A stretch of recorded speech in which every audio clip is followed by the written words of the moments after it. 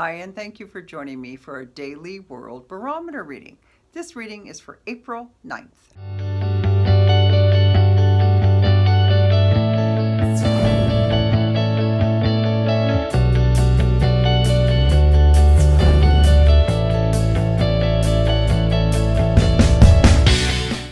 Two of Cups energy, love, passion, and relationship.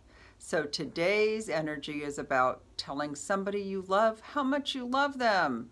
So if you are in a one-on-one relationship, this is a great time to do something with your wonderful significant other. This can also be a great time to go home and hug kitties and puppies. So, and it's also just a great time to just tell friends that they're important to you.